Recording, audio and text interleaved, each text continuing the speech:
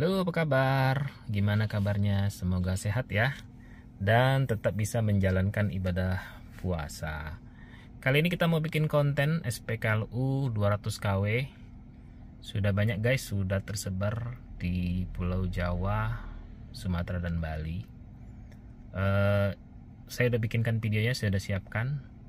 Uh, ini cocok buat mobil-mobil uh, Kia dan Hyundai ya seperti Kia EP6 dan EP9 dan Ioniq 5 tentunya Ioniq 6 yang memang support hingga 350 kW ya chargernya. Eh, beberapa yang Jerman itu maksimal 150 jadi memang untuk sementara yang unggul itu ya mobil-mobil dari Korea. Nah pengecualiannya adalah saya tidak masukkan yang 180 kW ya. Ini 180 kW ada di uh, Poldamri, kemudian ada di Istana Negara, kemudian ada juga yang di Jawa ya saya lupa persisnya, itu 120 kW tidak saya masukkan. Oke sekarang adalah titik-titik di mana SPKLU 200 kW terbaru per tanggal 4 April 2024. Saya mencatat ini dua hari sebelumnya jadi sekitar tanggal 2 April 2024. Oke, kita mulai dari yang pertama di ujung di Medan. Ini ada di Terminal Amplas. Ya, silakan lihat data di sebelah kanan ya. Saya belum pernah ke sana jadi saya tidak punya videonya. Kemudian berikutnya ke bawah turun. Ini ke Sibolga ya. Ini agak jauh. Pas sih kalau dari sini ke Sibolga ya. Kemudian lanjut ke Riau. Ini ada di kantor Gubernur Riau Berikutnya geser ke bawah. Saya coba zoom dulu. Pindah ke UP3 UP3 Rengat ya. Nih silahkan baca nih di bawah ya saya tulis namanya SPKLU PLN UP3 Rengat. Berikutnya ada di Bangka Belitung ya, nih satu nih. Di PLN Raya Muntok. Tepatnya di hmm, Bangka Barat ya Bangka Barat. Lanjut ke setelah Palembang ini ada di uh, eh, PLN ULP Muara Enim. Ini masih masuk Sumatera Selatan ya teman-teman ya. Tuh. Kemudian kita zoom ya ada di sebelah-sebelah ini ya.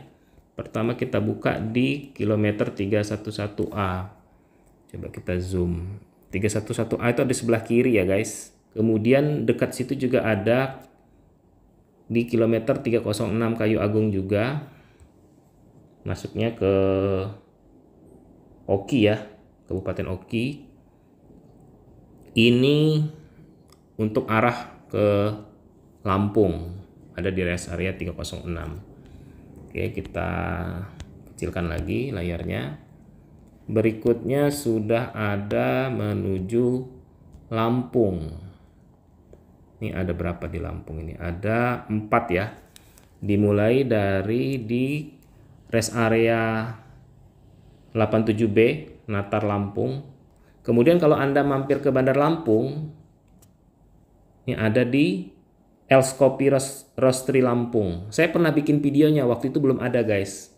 Nah ini Contohnya ya, ini yang versi lama guys. Ya, belum ada. Kemudian ini yang versi baru. Tuh, sudah ada tuh di sebelah kanan ya. Lanjut. Kita balik lagi ke tol ya. Ada di kilometer 49A. Ya. Di 49A ini saya juga pernah mampir. Waktu itu belum ada guys. Ya, videonya di sebelah kanan ya. Coba kita intip foto-foto dokumentasinya ada nggak ya yang menampilkan? Kayaknya nggak ada nih guys, belum ada. Kita buka ya. Belum ada. Kemudian lanjut juga ke kilometer 20B. Ini sudah dekat ke Bakauni ya. Saya juga udah pernah bikin videonya. Tapi sayangnya waktu itu belum ada chargernya yang 200 kW. Lanjut kita ke arah Pulau Jawa. Nah, untuk Pulau Jawa pertama kali ada di rest area 68A. Saya juga pernah bikin videonya nih guys ya.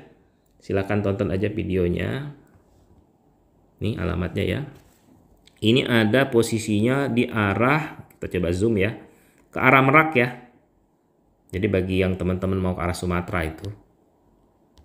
Kemudian lanjut ke Cikande, di PLN ULP Cikande. Saya juga pernah buat videonya ya.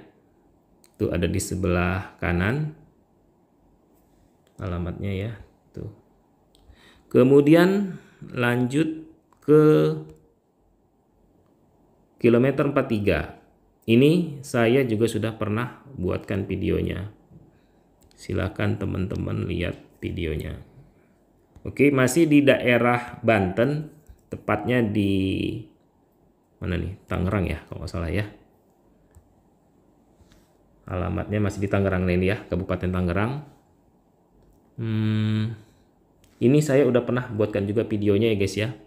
Silahkan lihat di sebelah kanan di pick 2 ya oke lanjut ke Jakarta. Ini Jakarta ya. Kita coba dulu. Ini ada di Gambir. Saya juga udah pernah buatkan videonya. Nih di sebelah kanan ya, PLN UIT Jakarta Raya. Dulu belum ada, sekarang sudah ada. Nah, nanti saya bikinkan videonya ya, coba kita cek di foto-foto terbaru ada nggak ya e, chargernya. Hmm, nggak ketemu ya. Nanti silahkan dicek aja teman-teman ya, apakah di dokumentasi foto ini sudah ada yang terbaru. Kemudian lanjut juga ini di kantor pusat. Saya udah pernah bikin videonya, ya. Ada di sebelah kanan ya, silahkan kalian tonton. Lanjut, ini di Halim Perdana Kusuma. Saya juga udah pernah buatkan videonya. Cuma waktu itu belum beroperasi, jadi belum berhasil saya coba. Silahkan teman-teman cek ya uh, apakah dia sudah beroperasi atau belum harusnya saya sudah ya karena itu videonya cukup lama lanjut ke sebelah kanannya ini di kilometer 6 rest area kilometer 6 saya juga udah pernah bikin videonya kala itu juga belum ada ya chargernya ya yang uh, versi 200 kW jadi ini murni uh, untuk kegiatan uh, mudik ya mungkin ya disiapkan oleh pemerintah. Kita geser sedikit ke bawah ya di Bogor nih. Ada di UP3 Bogor, ya ini dia nih ya. PLN UP3 Bogor. Saya udah pernah bikinkan videonya juga ya, ada beberapa video saya.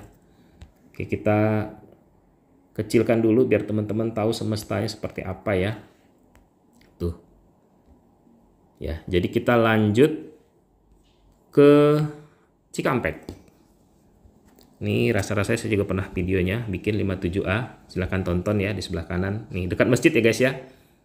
Ini sengaja saya tandanya masjid ya. Supaya kalau teman-teman ngecek ya lari aja ke arah masjid ya. Karena kan rest area itu cukup luas.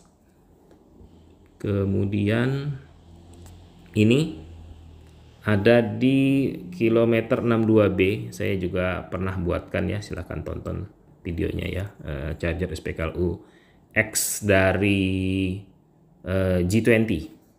Oke, kita kecilkan lagi biar kelihatan ya. Nah, di sini kita terjadi percabangan ya antara ke bawah ke arah Bandung atau ke arah eh, Jawa Tengah ya. Ini ya. Kita ke bawah dulu ya, teman-teman ya. Kita nyusur ke bawah. Nanti kita lanjut ke arah sana kita pertama kali mampir ke rest area kilometer 88A. Videonya juga sudah pernah ada ya, silahkan tonton. Itu dia videonya. Berikutnya ada di sisi menuju balik ke Jakarta ya, dari arah Bandung.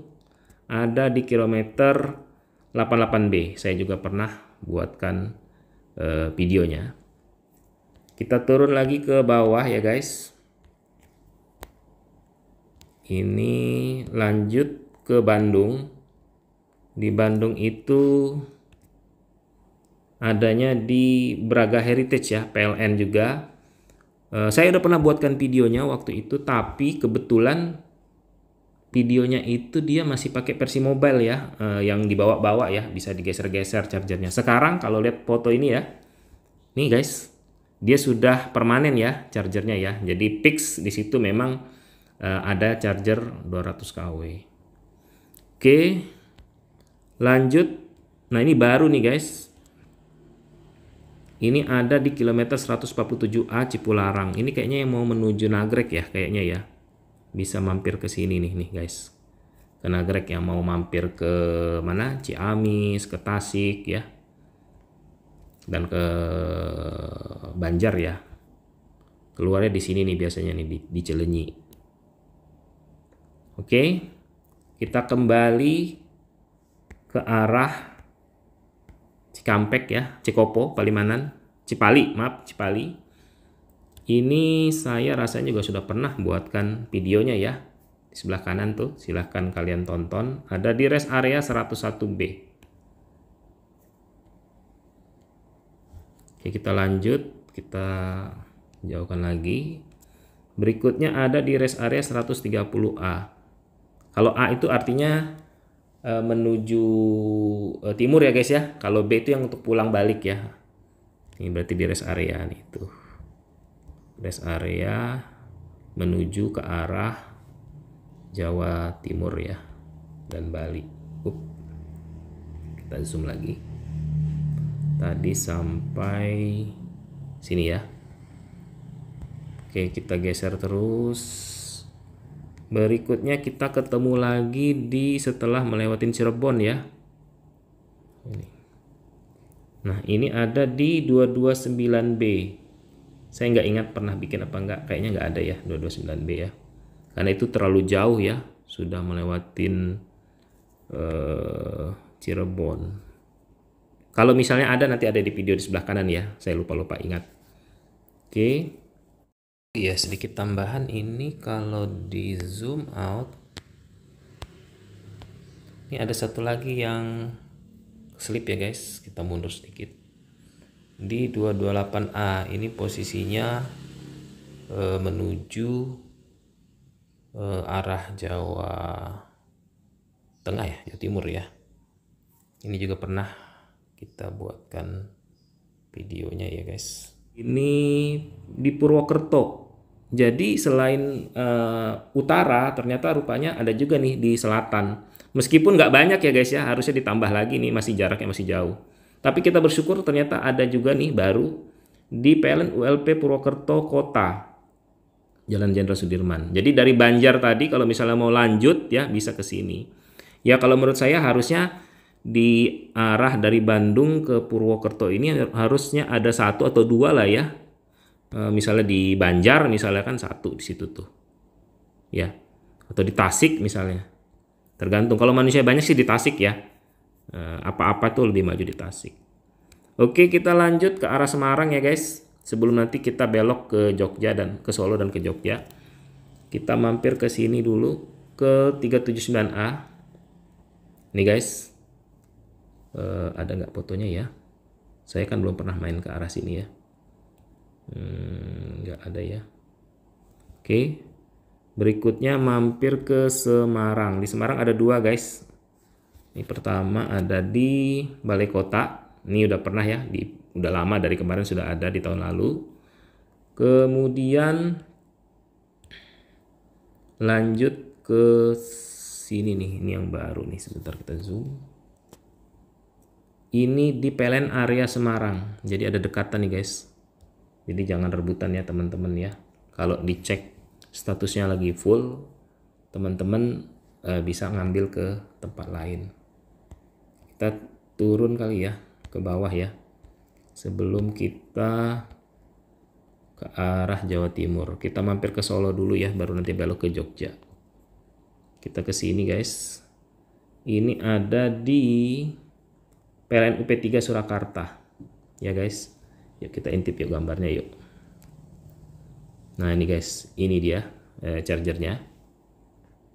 Jadi mudah-mudahan nggak nyasar ya. Oke kita belok ke arah Jogja dulu ya. Jogja pertama ada di Pendopo. Oh sorry, ini di Hotel Royal Ambarukmo ya. Ini baru guys. Hotel Royal Ambarukmo. Kemudian lanjut ini di Istana Agung Yogyakarta. Kayaknya kita nggak nggak bisa ya ke sini ya, tapi sekedar mem memberitahukan bahwa di istana ada charger 200 kW. Kemudian belok lagi ke Wates ya. Ini Kulon Progo ya. Ini ke arah bandara ya kalau nggak salah ya bandara yang baru. Ini juga udah ada kemarin sama dengan yang di Istana Negara. Oke dari situ kita lanjut ya guys. Eh, ke arah Jawa Timur. Mudah-mudahan cukup ya jaraknya ya karena menurut saya sebetulnya bagusnya dibagi dua ini ya. Tapi cuma ada satu ya nih kalau kita lihat ya zoom ya dari titik yang Solo tadi ini ada empat nih satu dua tiga Nih. Apakah jaraknya cukup? Hmm, kalau Ionic 5 sih kayaknya cukup ya. Coba kita klik yang ini. Ini adanya di uh, rest area 626B. Saya lupa nih, kayaknya baru nih ya. Ya, masuk ke dalam Kabupaten Madiun. Ini juga ada yang keselip kayaknya nih guys. Nih kalau kita zoom.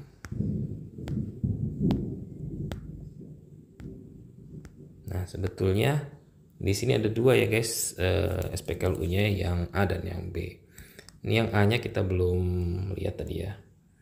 Ini yang A-nya. Jadi berdekatan ya. Eh, sebelah-sebelahan. Di 62 6A. Ya, SPKLU di PLN ULP Probolinggo ya, masuknya ke kota Probolinggo. Dan berikutnya terakhir ini di Situbondo.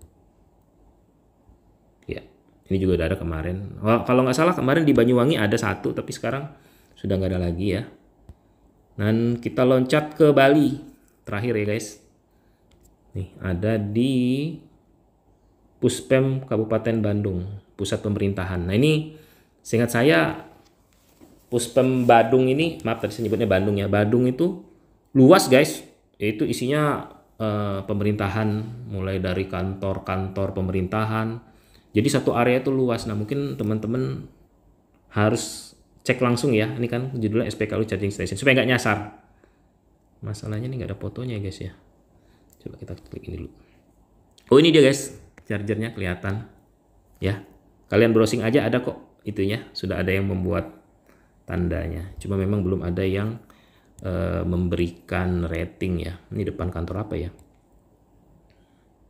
Kita geser dikit depan kantor dinas pekerjaan PU ya PUPR oke oke itu dulu guys uh, data-datanya buat teman-teman uh, listnya ada di sebelah kanan ya mulai dari Medan Sumatera Utara ya turun ke Sibolga. Sibolga ini termasuk uh, Sumatera Utara guys ya. Jadi yang Sumatera Barat juga nggak ada ya kayaknya ya.